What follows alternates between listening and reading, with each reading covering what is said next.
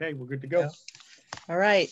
So um, we don't have a quorum tonight, so we're just going to go through um, the, the agenda and everybody's going to just kind of touch base. So I guess we should introduce ourselves first. Would that be good? So I'm Katie Sullivan. I'm the vice chair of the commission. Jesse, do you want to go next? Hi, I'm Jesse Smith. Uh, I am the website uh, and social media manager. Okay. Jill? I'm Jill Fletcher with Wethersfield Historical Society. I also um, do some work on behalf of the Chamber of Commerce. And I handle events and some fundraising and other activities. Good. Peter? Uh, Peter Gillespie, Town Planner. I am the staff person to the uh, Heritage Commission. Amy? I'm Amy Woodorf. I'm Executive Director of Wethersfield Historical Society. Charlie? Charles Ford, a representative from the Old Wethersfield Shopkeepers Association. And Melinda? Melinda Robideau, Circa Antiques and Collectibles, also representing the Old Wethersfield Shopkeepers Association. Okay, thank you.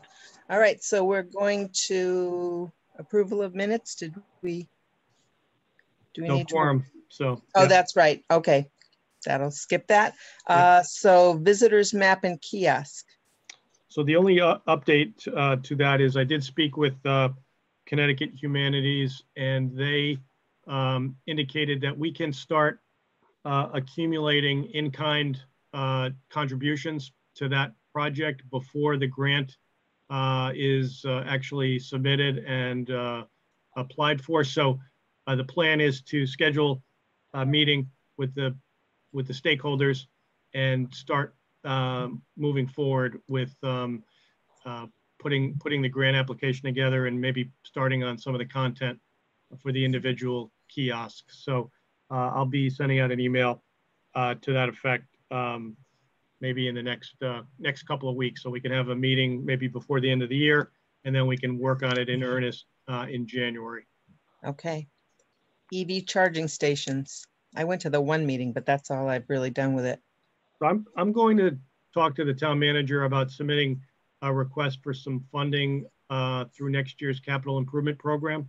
And it may not be just for one uh, EV station.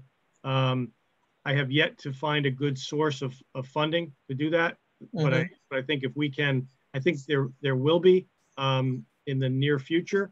But I think if we can position ourselves with at least some matching funds, uh, if the funding sources do come online, we'll be in a good position um, to potentially acquire some additional funding for that.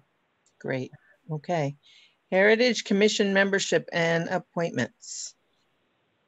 So we're slowly uh, working on that. I did speak with the town manager again about getting this on the um, uh, a future council agenda.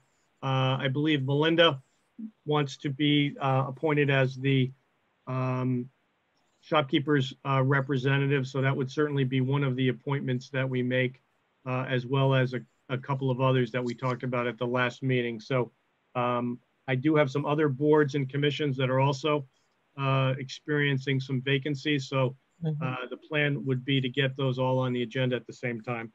Okay. Wayfinding signage. Nothing to report on that. Okay. Uh, photo contest. So obviously we met and uh, picked the winners. Uh, Jesse, did you get, did Denise get you the list of the uh, award winners? For you to make an announcement? No? Okay. Um, I will send her an email uh, and hopefully she can get, if you want to, um, I'll, I'll send an email, I'll copy you in. And if you can maybe circle back with her, she'll be in the office tomorrow. I'm not going to be in tomorrow. So if you want to just reach out to her, I'm not sure why she didn't get that to you yet. All right. Brochure distribution, Hartford Travel Center. obviously, once again, we don't have a quorum, but I, I did in your packet uh, include a flyer for what they're calling the Pride Travel Center. This is uh, off of exit 33, Jennings Road, uh, off of uh, 91. So this is a new uh, venture. Uh, As you can see from the literature, they're going to set up a, card rack station as well as an electronic kiosk with a screen. They've offered us an introductory discount of $150 um, for the uh, remaining part of the season.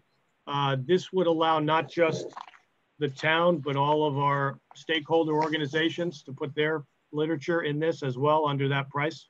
Uh, so I thought it was a good, a good price. As they say, it's a startup, so I can't really tell you statistically, you know, how many eyeballs are going to be on on this, but um, nevertheless, uh, they want to start this up in um, in January. So maybe what I will do is send out an email to everybody, and maybe we can do uh, a vote online. Okay, Uh, you can authorize us uh, doing that. So if that's the case, I will be reaching out to the organizations and trying to get a supply of whatever literature they want to put in the uh, rack card.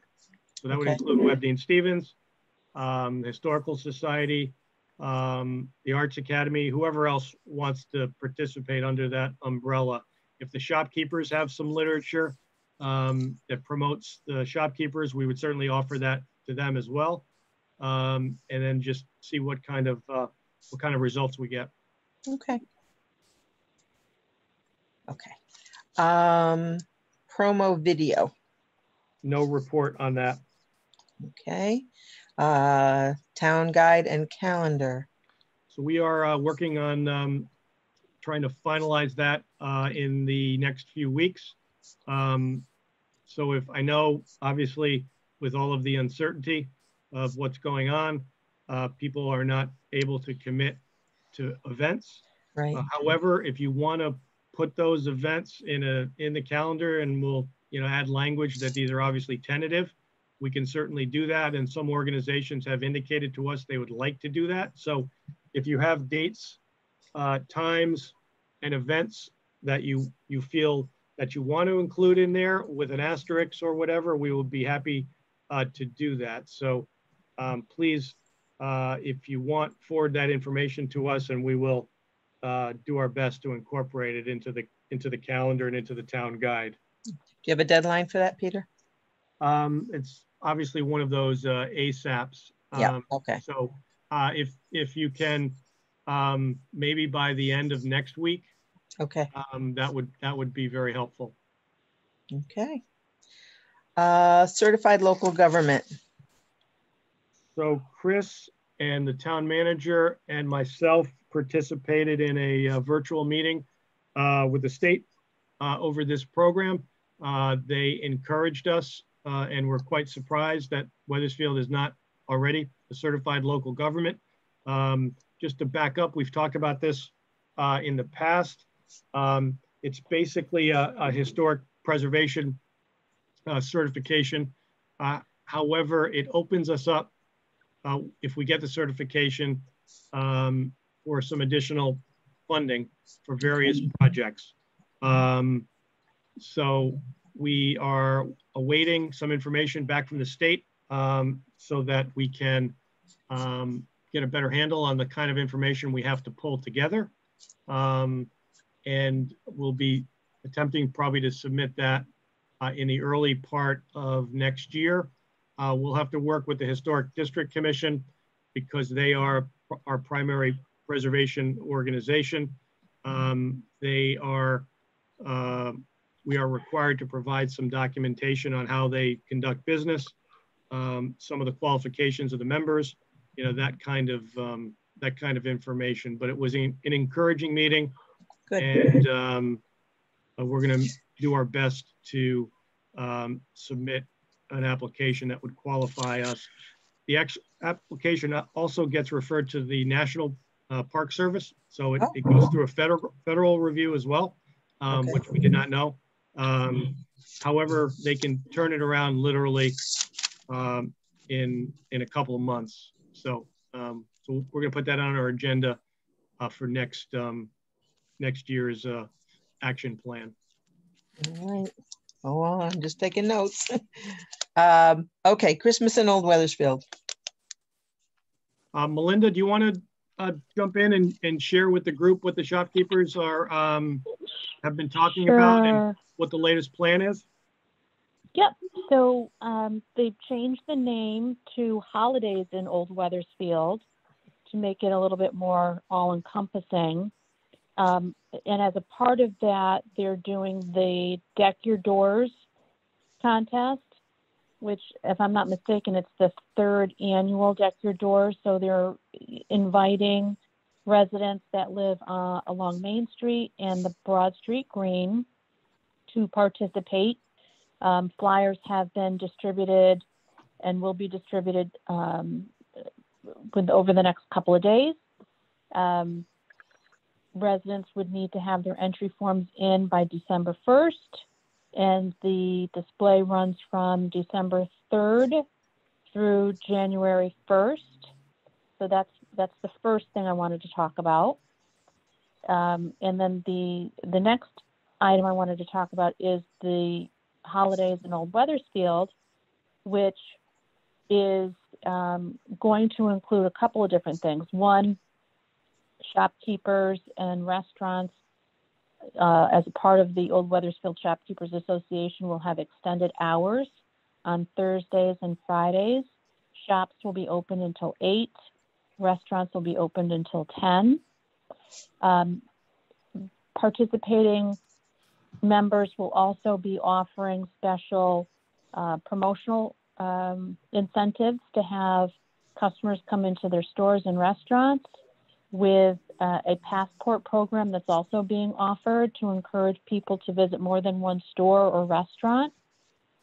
So it'll it'll encourage folks to come to various stores with a bounce back promotion, if you will. So, for instance, uh, Circa Antiques and Collectibles, if you come in and buy during the month of December, then you'll be eligible to come back in the month of January and receive 20% off. So, there are a number of stores that are um, offering various promotions like that, either 20% off or uh, a free gift. Um, so those are so those are different offerings. Um, that are going to be taking place. There will be a punch card that will be handed out at the participating stores so customers can keep their punch card and as they go through and visit each store, the card will be punched and then also once all the cards are full, then they'll be eligible to win a gift basket um, as well as um, a, a gift card for future purchases at one of the stores of their choosing. And in addition to that, I know that um, the Historical Society, you're having an outdoor market, if I'm not mistaken, on Thursdays. Is that correct? Um, we're having our gift tent since we can't open the Keeney because uh. Uh, we're going to have a tent on the lawn and our um, biggest, jolliest volunteer, Mike Monroe, uh, with a selection of gifts from our shop. Excellent. And I know uh, Grange Fresh is going to be offering free cookies and Drum Drum Roll Coffee Roasters is going to have free samples of coffees as well. Um, so just a, a, lot of different things going on just to encourage people to move through and around Old Wethersfield during the holidays uh, in lieu and in recognition that Holidays on Main is not going to be held this year.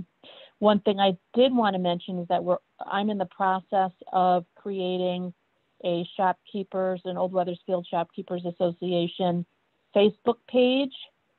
So I have a shell of a Facebook page currently created, and we are going to be um, promoting the uh, Deck Your Door contest as well as the um, Holidays in Old Wethersfield program and the Holiday Passport via the events page um, That's that's, available on that social media. That's great. Is that the end of your report? That's it.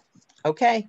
Melinda- Cece, whoop, Melinda, will you have a flyer or something that um, we could get to Jesse and to um, the town, maybe to help further promote um, that?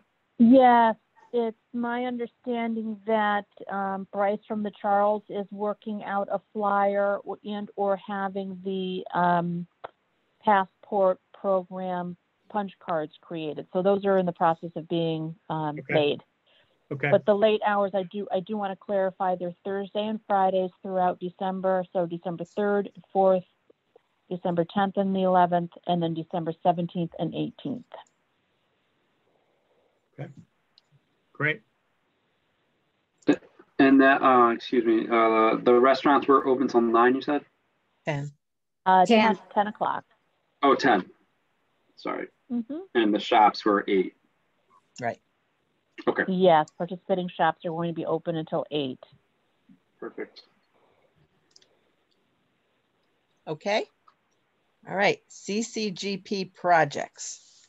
We're finishing up the uh, surveying uh, at the various locations in Old Wethersfield for those projects. Um, Once the surveying is done, the town engineer will be finalizing the details of that. We will have another community meeting at some point during the winter to um, share all of those details in case there's further addi- additional public comment on that with the idea of putting them out to bid so that they can be constructed next year. So that's the, um, that's the present status of that. Right. Sorry, it's hard to run a meeting and take notes at the same Yes, time. it is. Yep. Okay, um, so nobody from EDIC. No, Judy joined us. She's Oh, here. she did. Oh, hi, Yep. Judy. Yep. Judy, do you have a report? You know what? I can't find my notes in front of me, but I can remember a couple of things. Okay, Um, the storage facilities, the, um, uh, planning and zoning finally, uh, made an, uh, a decision and approved the draft, uh, that came out of EDIC. So storage facilities are, no- are, the moratorium is done, but, um, they will have certain requirements and one of them is mixed use. So wherever their storage facility goes up, there will have to be a mixed use, um, portion. Um, the other thing I, I can report is that the Ridge Road Apartments and Peter, I can't remember the number, but the ribbon cutting is on hold. And uh, maybe you can, 170 Ridge Road. one seventy Ridge, okay. It looks great on the outside. Yep. now they're, they're very unique apartments inside as well. It's the old uh, CCMC school. Um, So each one is a little bit different than the others. So. And that originally was the School for the Blind, the Connecticut State School Yeah. for the Blind. yes. I was just gonna say that, Judy, if you're of a certain age, you remember it as something Yeah, different. right.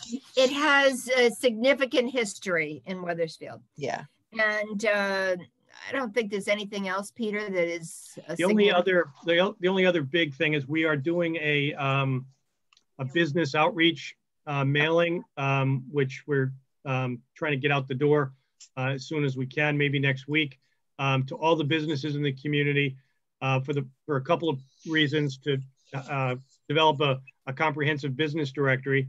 Uh, but secondly, to gather, uh, email, websites, social media links so that we can share those much more widely and um, have better uh, outreach and communication with the entire business community as to, you know, some people are not chamber members, some people Mhm. have their contact information. So we're making a big push. Uh, there's uh, over a thousand businesses that we'll be sending uh, the mailing out to, and hopefully we'll have a, a, a strong response to that. So that's um, that's a big task. One other thing, I should have mentioned it when, after Melinda's report. Um, the Keene Foundation is doing the luminaria this year, the candles in the bags. And they are going to be sold at Wethersfield Travel as usual. Um, they are going to be two dollars this year. And although we bought two thousand more than we did last year, um, the numbers have been going up every year. I would say buy them early if you want them. yeah, I think a lot of people are gonna want them this year. I think so too. I think Yeah. this is going to be a special, special year. Okay, I'm done. All right, anything more from the shopkeepers? No, that was it. Thank you. Okay, so, uh, WHS.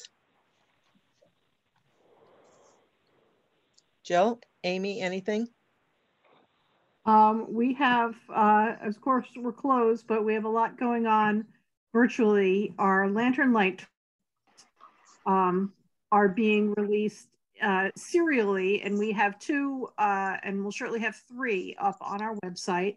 Oh, great. They're all women of Wethersfield, um, spanning 400 years. So um, please don't miss those. Go on and see them. And thanks to um, all of our volunteers who were the actors and Kevin Anderson who filmed everything. Um, and of course, Gilly Johnson, our educator, who uh, put it all together. Um, one thing we are doing in addition to our gifts, gift tent for Christmas holidays, usually we do the the children's holiday trees inside the Keeney and have different organizations decorate these trees. Well, we can't do that. So instead we're doing wreaths um, and we're inviting uh, different organizations to decorate the wreaths. Um, we don't have as many as we had hoped um, because some just couldn't do it because of the pandemic. And I have a few extra wreaths. Um, but we've gotten, I just got them the wreaths, the blank wreaths um, from ShopRite yesterday, and we already have one from Silas Deane Middle School today. And it That's is great. um, so I'm excited to see what we're going to get. Um, and uh, that's all. Jill, did you have anything?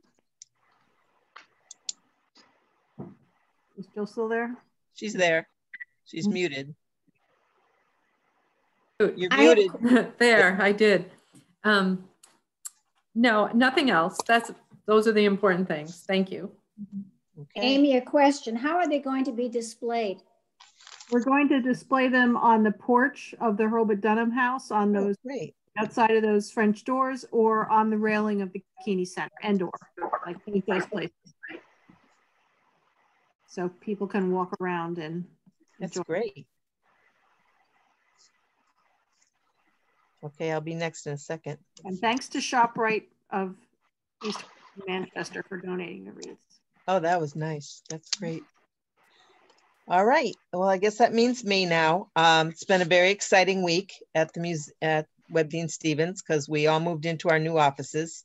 So that was the first exciting thing. And the second exciting thing is that our new director started on Monday. So Joshua Campbell Torres, and he's so far so good. Everything's great. He's got a lot of great ideas, and we're really looking forward to seeing, you know, what what he's going to bring to the museum. But other than that, we're closed right now. Um, we're trying to get all of our phone lines up and our email working and get the shop all ready. So that's where we're at right now. Um, I had a question. Mhm. Are you gonna have the Are you gonna have the outside um, decorated? Yes, we're going to decorate the outside, but obviously we're not doing our usual. We're, we are going to decorate the shop, but not the Right. houses. Okay. All right. And that leads us to you, Jesse.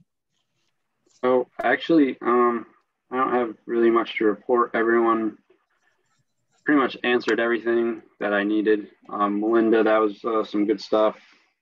Uh, thank you for all that. That was I had major questions with the door uh, decorating, but everything was answered.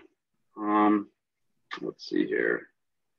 Uh, I will be actually. I think tom- was tomorrow Wednesday. I will be going to uh, the Silas Robbins house. Uh, to, they they're gonna let me get a tour and like go inside and get some pictures and stuff like that. So I thought I could use that for social media Yeah, that'd be great. stuff like that. Hopefully, I don't know if they decorated. Um, because if not, I might ask to come back Yeah. just to see the in, just to see it all inside decorated and and come back Right. to take pictures. So I don't know. Um, I, I think that's about about it. Okay. Correspondence, Peter? Do we have correspondence? No, nothing, Okay. nothing um, to report. We may have, let me just see who's here now. One, two, three, four, five, six. We have a quorum now, so we can go back Okay. uh, to the minutes. And if you also want to talk about the um, travel center, um, since we've got everybody now, we've got six anyway. Okay. So, um, we, does anyone want to make a motion to approve the minutes? As everyone's busy reading them. So moved. Okay. Do I have a second? Second. Uh, second, Okay. All in favor of the minutes as written? Aye. Aye. aye, Opposed? Abstentions? Okay. How was that? Okay. That's good. Now, now we want to go back to, where is it? The distribution, brosh- brochure distribution. Yeah, Hartford, Hartford Travel Center. Yeah. Um, Does anyone have any questions, uh, questions on that? So just, to- just to summarize, there is a, there will be an electronic uh, or digital uh, presentation opportunity on their large video screen. There's a uh, display rack for brochures, uh, flyers, etc. So uh, any of our uh, partner organizations would have an opportunity to supply that. And they're going to put a book together um, that people can look through. Some people still prefer the hands-on approach. So they're going to design uh, a page or two uh, for Wethersfield so, so that we can promote the various. Uh, they will design that as well based on our input. So as I said earlier, it's a it's a uh, hundred and fifty dollar total for for a four month period of time. Okay, and that, and all of us can submit brochures. Yes. I don't think it's hundred and fifty each time. If I'm reading it correctly, it's only hundred and fifty the first time, and after that, it's just one hundred. Yeah, I think you may be right. He was, um, he was, because since it's so new, he was still trying to figure out some of the details. So, um, I, I think you're, you're probably right. The way it's written as I look at the bottom of the page now. Right. I I don't it think he's gonna, and I don't think he's gonna be able to start December one, but, uh, it may not, it may not start until the new year. I think it's a reasonable price, you know, it's to, to try it out. The, the problem is we're trying it out at a time when nobody's open. Right. So I don't, It'd be nice if it went January, February, March, April, May, June, Right. July, August, September, because then we wouldn't do four, we'd only do three. right. Yeah, maybe a good, um, a good trial run, see what the, see if we can, uh, document the response. Uh, they will provide us with statistics, uh, uh, they indicated going forward, so at least maybe we'll get an idea of how, um, how busy it actually is.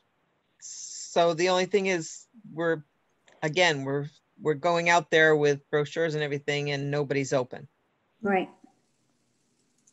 And there's no way to like jump into the second quarter, I suppose.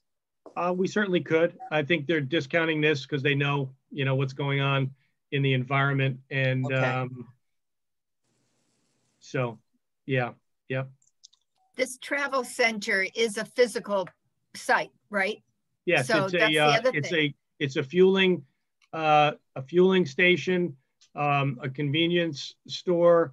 They have, I, I believe, a dozen electric vehicle charging stations, which is very Ooh. unusual.